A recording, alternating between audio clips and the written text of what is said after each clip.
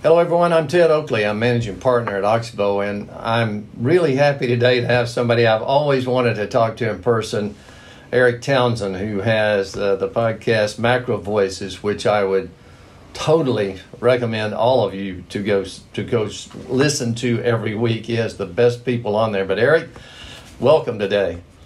Thanks so much for having me on, Ted. It's good to see you. Yeah. Uh, one of the things people probably don't know about you, but you have tremendous experience up and really everywhere, but in particularly in oil. And I really today I wanted to really start uh, talking about where you see oil sort of now in the short run and the long run, the implications, because you have some really interesting ideas about the implications for oil.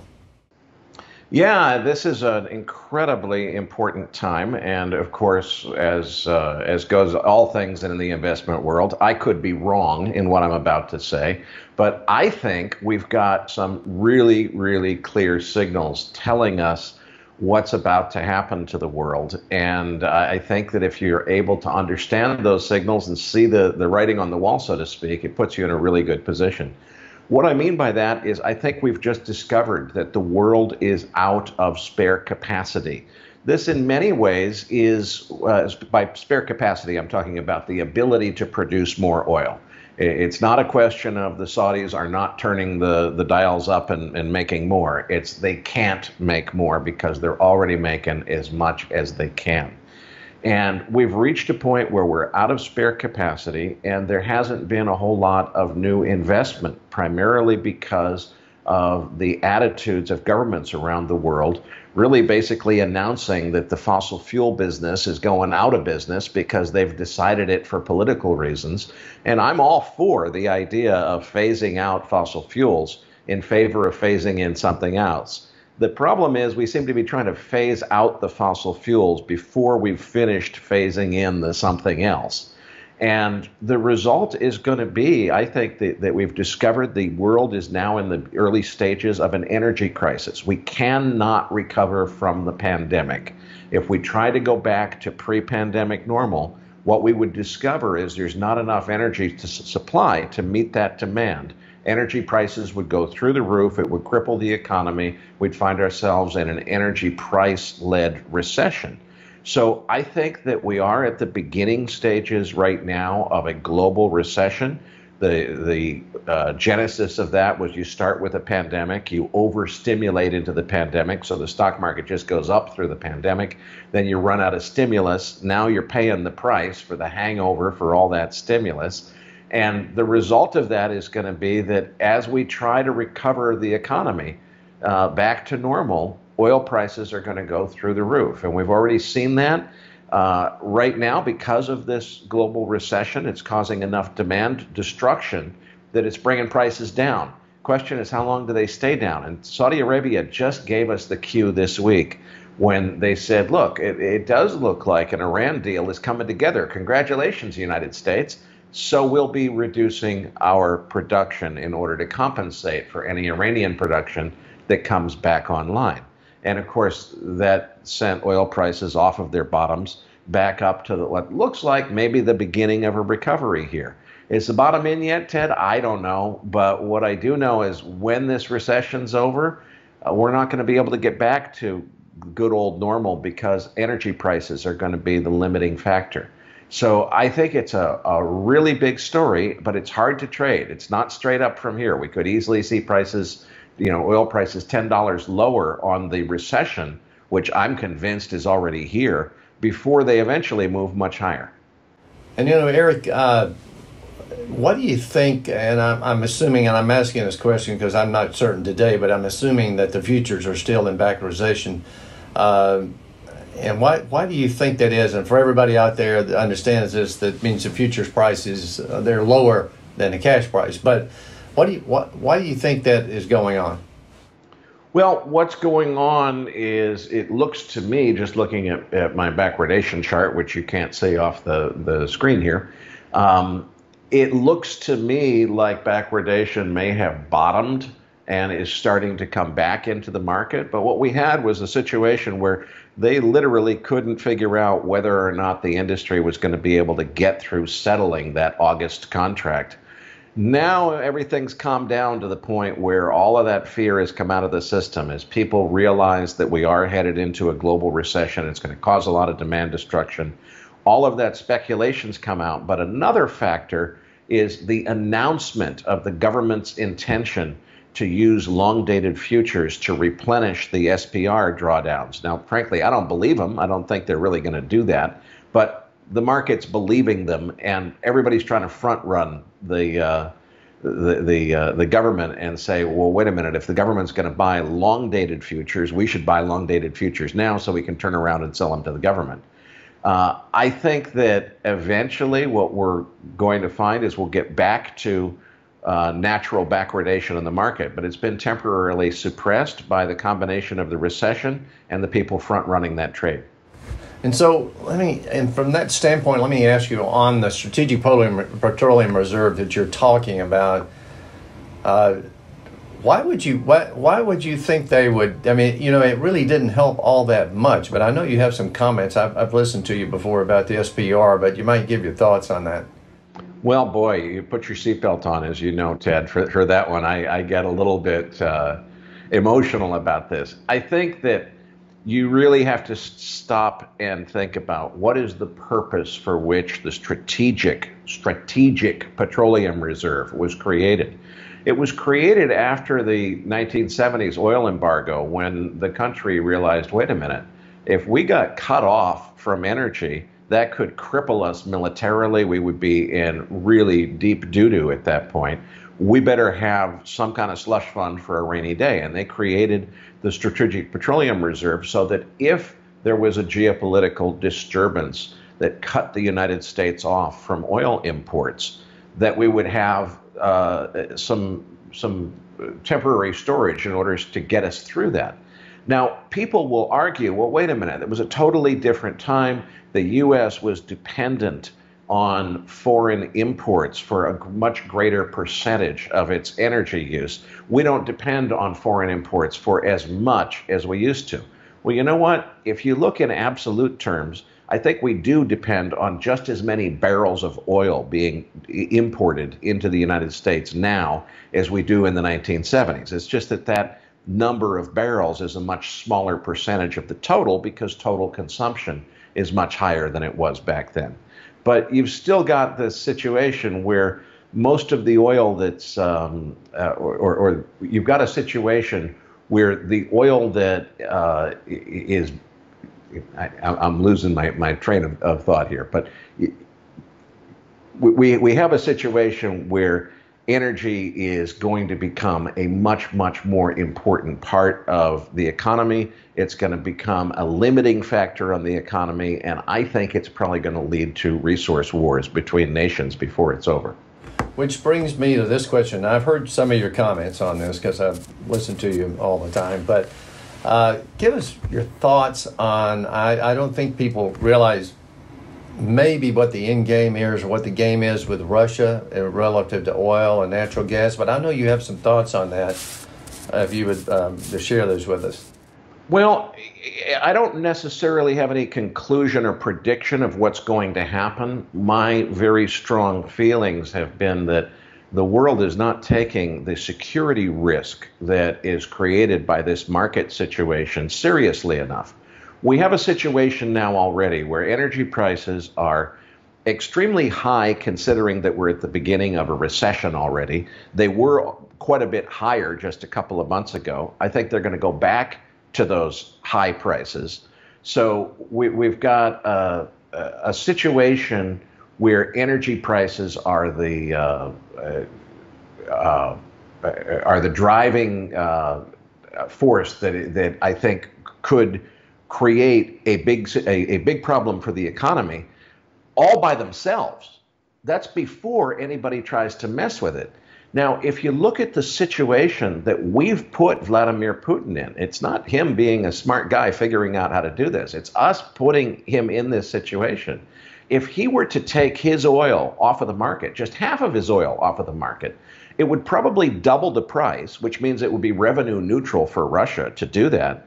And it, would completely cripple the global economy. You could double the price of energy and shut down Europe. You, you, the, the euro would crash. You could do so much economic damage if you were intentionally trying to withhold energy from the global market, whether that be through embargoes, you know, physical, you know, Navy stopping ships from delivering oil, or if you just did it by taking some of Russia's oil exports off the market. We've created a situation where the geopolitical risk is extreme if somebody intentionally monkeys with energy prices, which they're not even doing yet. And it's happening at a time when we're seeing a geopolitical escalation that's really, I think, the biggest in our lifetimes. I think this is, uh, there, there hasn't been a time that we've been closer to outright nuclear escalation between superpowers since the nuclear uh, since the Cuban Missile Crisis. And at a time like that, we're drawing down the strategic petroleum reserve for the sake of trying to game gasoline prices between now and the midterm elections. I think that is recklessly irresponsible of the president to be using the Strategic Petroleum Reserve, which is meant to protect the national security, at a time when the national security, frankly, is in question for the sake of trying to buy votes, which is what I think has happened here. So let me ask you, and you, you know, you're breaking down this oil between the short term, which I think we've understood that, you know, if you get into uh, a deeper recession, it could break it, break it down. Obviously, uh, further. Sort of like you know 08 when you went from 140 to whatever that price was, 40 bucks or whatever. But uh, if you had to break down, let's say get past the next 18 months or whatever goes on with this this downturn we have, in the long run, I'm talking about you know five years or so, some some longer term number. I'm I think I'm hearing you say that, that oil would surpass that 140 mark back in 08 and maybe I'm not trying to put words in your mouth. I'm just it's a question. I, I, think it definitely will, but I don't think it's nearly as simple as oil price goes up. People who who you know bet on oil make money. I think what will happen is we will go back to that $147 price that was tested in 08, and we'll have a uh, another experience like 08, which is when energy prices get to be that big of a percent of GDP, it cripples the economy and takes us back into recession. And you get into, you know, if you think about a debt trap where you're stuck in debt and you can't get out because every time you try to get out, it just makes it worse. You can get into an energy trap where energy prices, as soon as the economy begins to recover and demand picks up, energy prices go through the roof and crash the economy again back into recession. And you're stuck behind uh, energy prices basically being the crippling effect on the global economy. I think we're headed to that situation, and we'll eventually figure it out and say, wait a minute, getting off of fossil fuels was a good idea, but we should continue to Con- we should continue to invest in fossil fuels for as long as we need them until the replacement has really and truly been put into place, not just been promised into place, as the, the case has been with electric vehicles. And, you know, at that point, you say, okay, well, we, we got to do something to resurrect or keep the petroleum industry alive for just a few more years. Well, guess what, Ted? It takes years to discover new oil fields and, and go through all of the work that it takes to get them into production. There's a pipeline that takes several years. At the rate we're going, by the time we recognize all the policy mistakes that we've made and say, holy crap, we need to produce petroleum. Yeah, it's it's the old stuff, it's going out of vogue. We're not going to have it in the new the new economy that we're trying to get to. But until then, we got to produce more of it and we don't have enough and we're in trouble. By the time we finally get that through our heads, I think we're going to be at the point where it takes several years to get out of an energy crisis, no matter what the policy is. And with that, I'm assuming that you think that would bring uh, a fairly high inflationary impact with it to in, in general because you know everybody thinks now well we're going to go back to normal inflation you know the Fed will come back in and loosen up everything's okay but I'm not I'm not certain you see it that way. Well, the cost of energy used to be an input to the price of everything. These days, you got a few things like the software industry that don't depend on energy as much as other people do, but energy is a basic input to the entire economy. Whatever it takes to, to run the economy, uh, the, the energy cost is a basic cost of operating the economy. And whatever energy costs is that much money that's not available to be profit in something else. Uh, we're going to have to run the global economy on a tighter budget because energy is going to cost more than we're used to. And it didn't have to be this way. We got here through policy mistakes. So my question to you then would be this, and that would be if in fact uh, they don't do anything, and then we get up against the wall, uh, I'm assuming you don't see any way out of that other than the fact that you have to get uh, in trouble and then try to pull yourselves out. I don't. I'm assuming you don't see anybody having enough foresight to to work on that. Yeah, I think that what we have to go through here is the world is going to get itself into big trouble, into a big energy crisis, and everybody's going to wake up and say, okay, wait a minute, all this green energy, uh, carbon neutral agenda stuff is the right idea. I hope we don't lose sight of it because it really is the right thing for the planet. But you can't just announce that you have these things and phase out fossil fuels because you announced that you have something that you don't really have yet. Getting to a new electric economy is going to depend on a new energy source to produce that electricity. I think we need to get realistic about uh, about the limitations of wind and solar and recognize that we need a nuclear renaissance. Now, a nuclear renaissance is a really big political bailiwick. The world is not ready to accept that yet. I think we have to go through a few years of really extreme pain where gasoline uh, prices in the United States are, you know, on the order of ten dollars, and and and uh, you know, double that in Europe. Uh, when we get to those kinds of energy costs, people are going to put their feet down and say, look, uh, this whole green agenda is fine as long as you do it in a way that doesn't break the economy. Let's take a, a, our time about doing it right, not rushing through it the way we have. Um, that realization, when we get there, is when I think policy changes. There will be a politically uh, the people will speak and say, We're sick of this uh, green agenda being the priority over everything. Certain political leaders will get voted out, they'll be replaced. We'll have a newfound focus on producing more petroleum. But it still takes time to do all this stuff. We're still going to be behind the power curve trying to catch up, and it's going to result in really, really painfully high energy prices for a few years to come.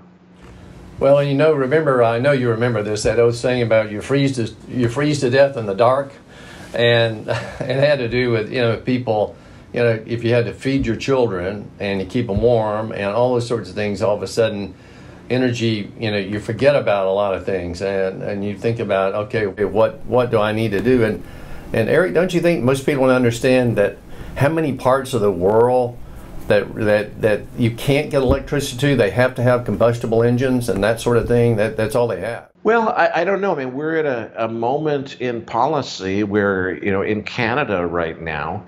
Uh, Canada has the world's largest reserves of potash, which is needed to make the fertilizer, which is an extremely tight supply right now because of this situation between Russia and Ukraine you would think that Canada would be stepping up to the rest of the world saying, hey, look, we've got the biggest potash reserves. We can put our fertilizer production into overdrive and we can supply the rest of the world with as much fertilizer as you need.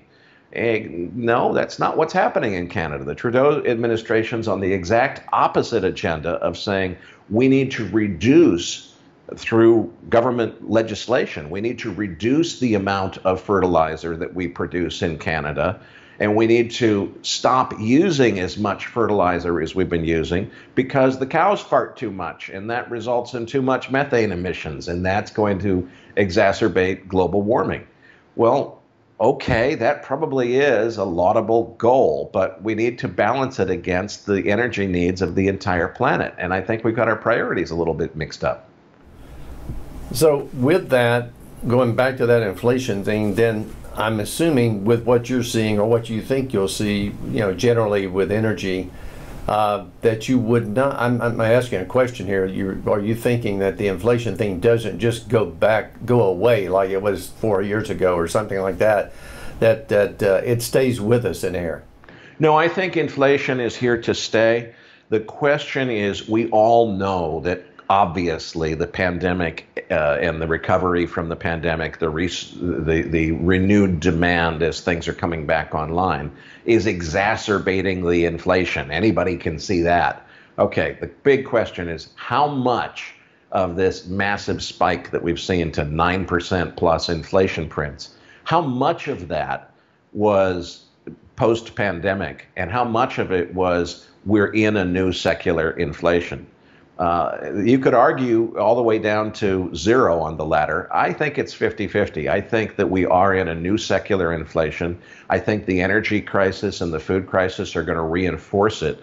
And I see enough reinforcing factors now that I think it's going to overcome the demographics and other factors that have kept us out of inflation for the last few decades. Thing is, uh, you know, inflation calls are really hard to get right. They only this is a, a tide that only changes every few decades. And I'm convinced the tide change is upon us. But if those tide changes can take a decade at a time to play out, you know, it's easy to, to, to be wrong if you, if you say it starts right now. Uh, I think that we're past that, that point of recognizing, though, that a new secular inflation period is on the horizon, if not already here. And with that, uh, Erik, would you, how would you feel about, since I'm looking at it that way, how would you feel about gold at this time? Gold continues to frustrate me. You know, everything that I and a lot of other people who were bullish on gold predicted was going to happen with the government uh, debasing the currency and printing more money and everything, it all happened. We, we got the prediction right. The only thing that didn't happen was gold. Uh, okay, so our assumption that gold has always served for the last 10,000 years as the, the scarcity asset of choice seems to have been outweighed by cryptocurrency. Uh, I don't think cryptocurrency really provides the, the same safety uh, asset benefit that gold does, but a lot of people disagree with me. And the demand for gold is now being diluted into demand for both gold and cryptocurrency. And if you've got an asset whose entire argument for its value is based entirely on its scarcity, and all of a sudden something else is just as popular in the scarcity department, it almost has the effect of doubling the supply of gold, you know, because now you've got a supply of gold and cryptocurrency, which are both competing for the same investor dollars, even though I think the the gold is more worthy of those dollars. Not everybody sees it that way. Yeah. Well, and the fact that maybe the cryptos are headed toward uh, the really low end, they've given up a lot more percentage wise, you know, over the last year or two. Uh, I, and I know exactly what you're saying, how you get the competition between the two uh, that go on there. So, um, well, I think that plays a really big uh, role in what happens next for gold because if crypto were completely washed out to the point where people just capitulated, washed their hands, and said, boy, that whole crypto experience of the last decade was a big mistake. Lost my money, learned my lesson. It's my, my Edsel. If it goes that way, then I think it's a setup for gold to at least double in price because the, the market really is, has been there the whole time for gold to, to move up substantially. On the other hand, if crypto recovers here, and we see a new wave of crypto enthusiasm, I think it's going to put a dent in gold for some time to come. Well, listen, Erik, uh, I know you're a busy person, and I want to recommend everybody again. And you've seen the, you will have seen the flag a few times now during this, during this interview, where you can go to Macro Voices, and I would really highly recommend you to listen into this podcast. It's one of the best, and I'm, I'm telling you, Erik, you have you have the greatest interviews you interview the best people. I, I don't know where you find them all, but they're always very, very interesting, and I recommend everybody to do that. But Erik, I want to thank you again, and I know you're busy, but thank you for taking the time to visit with us. Ted, it's my pleasure. Thanks for having me on. All right. Hopefully, we can see you in the next year or two. So, thanks a lot, everybody. We'll see you next time.